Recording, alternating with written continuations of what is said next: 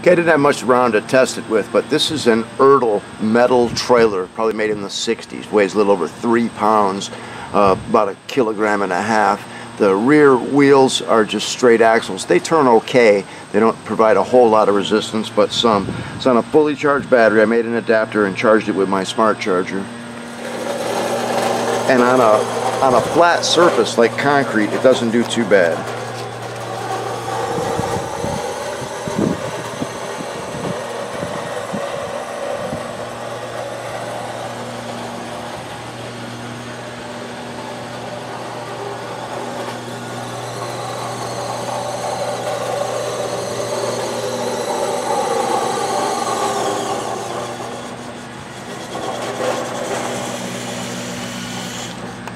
I can tell you right now, you're not going to be pulling any 20 pound tanks with it.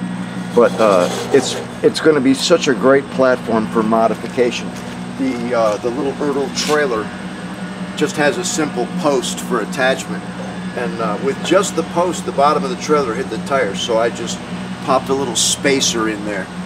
But uh, to take the box off the back, was only two screws and you can see all I did was just temporarily attach a little piece of square styrene tubing there for the post on the trailer to sit in.